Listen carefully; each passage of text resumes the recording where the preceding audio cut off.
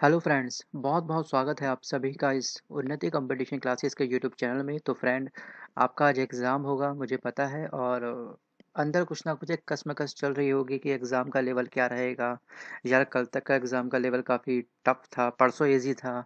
अब पता नहीं हमारी किस्मत हमको कहाँ लेके जाएगी। तो इस तरह के तमाम सवाल आपके मन में उठ रहे होंगे और ये स्वाभाविक ही है और ये होता भी है। जिसकी तैयारी ज़रूरत से ज़्यादा अच्छी होती है तो कभी कभी उसके माइंड में कन्फ्यूज़न की मात्रा बढ़ जाती है। तो देखिए विदाउट एनी डिले शुरू करता हूँ आज का अपना ये वीडियो देखिए, आज के इस वीडियो में जो मैं आपसे डिस्कस करूँगा पैंतीस क्वेश्चन ये सभी क्वेश्चन आपके एमपी के एग्ज़ाम में कई बार पूछे गए हैं। चाहे वो एम पी का एग्ज़ाम हो एमपी पटवारी का हो या फिर आपका कोई अदर एग्ज़ाम ही क्यों ना हो। तो देखिए, क्या करता है? आपको पता होगा स्टेट की आपको एमपी पटवारी का अगर आपका आज एग्ज़ाम है तो पिछले क्वेश्चंस में से ही वो उठा करके आपका नया पेपर डिज़ाइन करेगा और करंट अफेयर्स के कुछ क्वेश्चन उसमें डाल देगा। आपका पेपर सेट। यही तो होता है। तो बस यही ट्रिक हमको भी अपनानी है। हमको कितना पढ़ना है इंपॉर्टेंट हमारे लिए कितना है, कितना नहीं है, ये हमको पता होना चाहिए। देखिए, आप किसी भी एग्ज़ाम की तैयारी क्यों ना कर रहे हो तो आपको, आपने पक्का एक बार लुसेंट जो नीली वाली बुक है, उसको पढ़ा होगा आपने। अगर आपने नहीं पढ़ा है तो आप उसके तमाम वीडियो हमारी प्लेलिस्ट में जाकर देख सकते हैं। वीडियो, ऑडियो नहीं, वीडियो बन चुके हैं, बुक कंप्लीट हो चुकी है। एक एक पॉइंट को जब भी आप देखेंगे वीडियो को, अपनी बुक में उसको हाईलाइट करना है। अगर आप पढ़ चुके हैं तो दोबारा आपको वीडियो कभी वॉच नहीं करने हैं। रिविज़न करना है डायरेक्ट अपनी बुक में से। वो बुक काफ़ी बेस्ट है। तो चलिए शुरू करते हैं आज का अपना ये वीडियो विदाउट एनी डिले। पहला क्वेश्चन हमारे सामने जो है आज के एग्ज़ाम के लिए वो ये है कि भारत के लिए पहला ग्रैंड स्लैम जीतकर इतिहास रचने वाली खिलाड़ी कौन है? तो वो है आपकी सानिया मिर्ज़ा। फिर है तेजस। तेजस क्या है? ये एक्चुअली स्वदेशी तकनीक से निर्मित भारत का पहला बहुउद्देशीय लड़ाकू विमान है। Point number three Ramakant Vitthal Achrekar, Bharat के किस प्रसिद्ध क्रिकेट खिलाड़ी के गुरु हैं? तो ये है सचिन तेंदुलकर के और बीरबल का वास्तविक नाम क्या है? तो ये कई बार एग्ज़ाम में पूछा गया है तो ये है आपका महेश दास। एसएमएस की फुल फॉर्म क्या है? तो वो है आपकी शॉर्ट मैसेजिंग सर्विसेज़ और बटरफ्लाई शब्द किस खेल से संबंधित है? तो ये है आपका तैराकी से। मिकी माउस किसकी कृति है? तो ये है आपकी वॉल्ट डिजनी की। अगला क्वेश्चन है।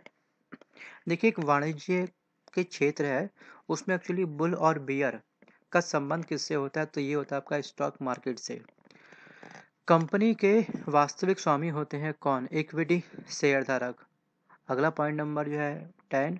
यामिनी कृष्णमूर्ति किसकी कुशल एवं प्रख्यात नृत्यांगना है? तो ये है आपकी भरतनाट्यम एवं कुचिपुड़ी की। कौन विदेशी यात्री दिल्ली का काजी बना था? तो वो था आपका इबन बतूता। और ये कहाँ का ट्रैवलर था? ये था आपका मोरक्को का। अकबर का पूरा नाम क्या था? तो ये था आपका जलालुद्दीन मोहम्मद अकबर। देखिए, अकबर जो पर्सनैलिटी है मुग़ल साम्राज्य में, देखिए, बाबर, हुमायूं, अकबर, जहांगीर, शाहजहाँ तो इसमें जो इम्पोर्टेंट पर्सनैलिटी है आपके अकबर तो अकबर से संबंधित बहुत सारे क्वेश्चंस आपके एग्ज़ाम में पूछे जा सकते हैं। जैसे राज्याभिषेक कब हुआ था? पंद्रह में हुआ था। कहाँ पे हुआ था? कलानौर में हुआ था। राज्याभिषेक इसका, ये आपको पता होगा शायद। और उसके बाद में इससे संबंधित एक क्वेश्चन आपसे ये पूछ लेता है कि दास प्रथा का अंत किसने करा था? तो ये करा था अकबर ने, कब करा था? पंद्रह में। राइट ठीक है? उसके बाद में कभी कभी हमसे ये पूछता है कि अकबर को हरम दल से मुक्ति कब प्रदान हुई थी? तो ये हुई थी पंद्रह में। और जजिया कर समाप्त करा था किसने? अकबर ने कब? 1564 में। दीन इलाही की स्थापना।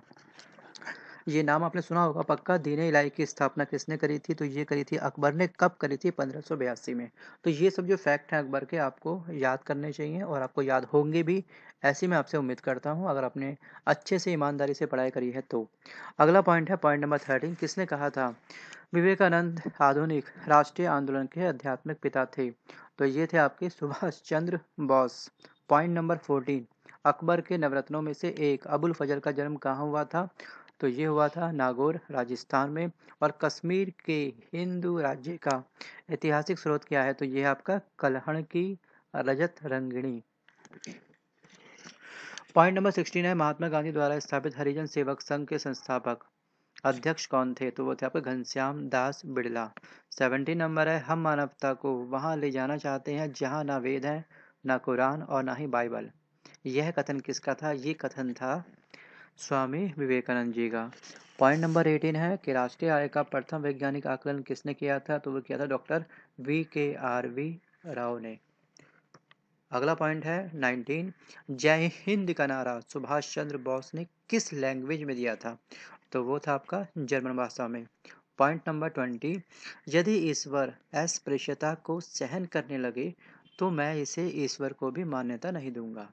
तो मैं इस टाइप के जो ऐसे ईश्वर होंगे, भगवान होंगे, मैं उनको भी नहीं मानूँगा, मैं उनको नहीं मान्यता दूँगा। ये कथन किसका था? ये कथन था बाल गंगाधर तिलक का।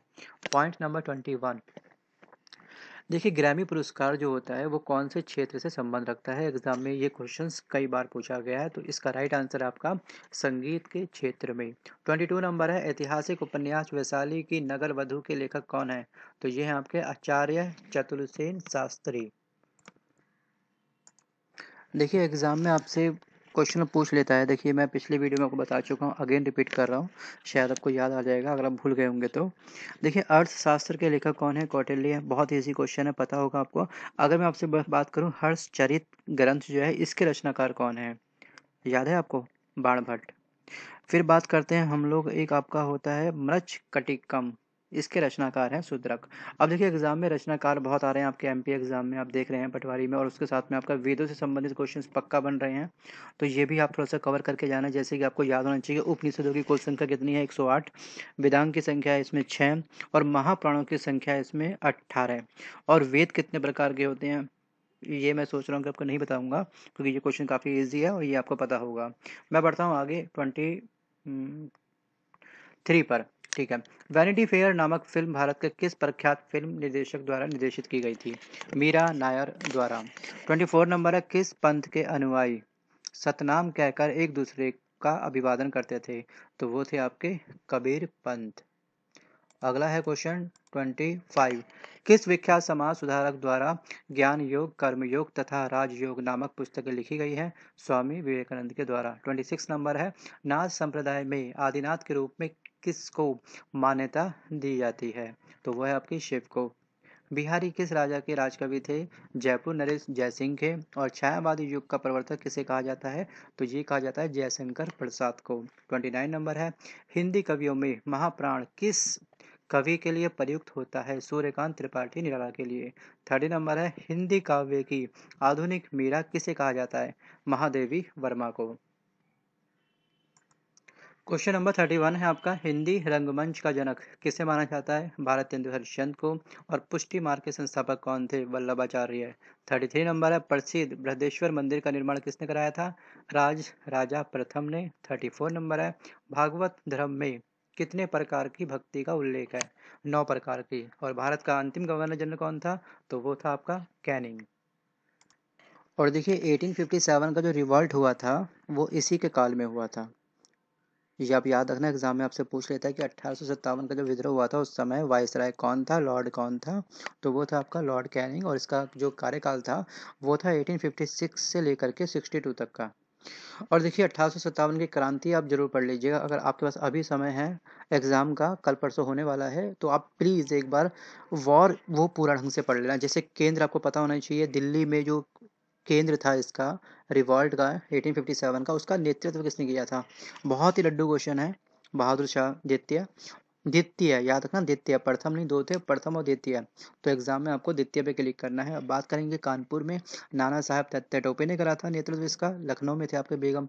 हज़रत महल और झांसी में तो लक्ष्मीबाई होंगी होंगी कॉमन सी बात है। इलाहाबाद में आपके लियाकत अली थे और बरेली में थे आपके खान बहादुर। तो ये चीज़ें आपको लिस्ट आपको अच्छे से याद करनी है। ये मिलेगी आपको लूसेंट की बुक में, जो आपकी नीली वाली बुक है, उसमें आपको आसानी से मिल जाएगी। और उसमें से भी मैंने सेलेक्टेड आपको हाईलाइट करवा रखे हैं वीडियो में। तो वो सब जब भी वीडियो देखेंगे, सामने बुक रखिए हाईलाइट करिए प्लेलिस्ट में जाइए अभी। एग्ज़ाम के बाद जाना या फिर एक काम करना, आप कुछ नया मत पढ़िए, जो पढ़ रखा है उसका रिवीजन करिए, बस, इससे फालतू आपको कुछ नहीं करना है। एग्ज़ाम के बाद में आपका जो भी नेक्स्ट एग्ज़ाम रहेगा, अगर आपने बुक नहीं पढ़ी होगी तो बेस कम से कम स्ट्रांग कर लो अपना, ठीक है? तो इसी के साथ मैं लेता हूँ आपसे अलविदा। बस यही कहना चाहूँगा कि इस वीडियो को अगर लाइक कर सके तो प्लीज़ लाइक करिएगा। पसंद आया हो तो ही करना, वरना मत करिएगा। और इस इस वीडियो को अपने फ्रेंड तक जितना मैक्सिमम शेयर कर सकते हैं शेयर करिए। और अगर आपने अब तक सब्सक्राइब नहीं कराया तो सब्सक्राइब मत करना अभी फ़िलहाल आप लोग। सबसे पहले पहले आप प्लेलिस्ट में जाइए, वहाँ पे जितनी भी बुक आपको दिखाई दे रही है यूज़फुल अगर चैनल हो तो उसको सब्सक्राइब करें अन्यथा ना करें।